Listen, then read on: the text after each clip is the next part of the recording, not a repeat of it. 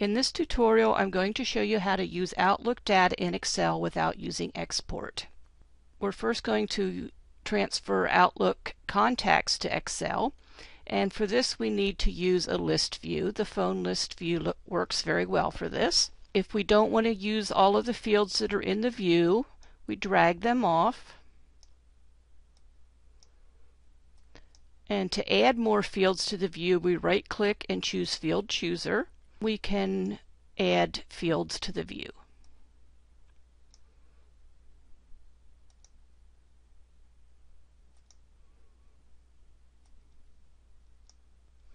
When you're ready, select the first item, hold Shift and select the last item. Use Control C or right click and copy. Go to Excel and use Control V to paste.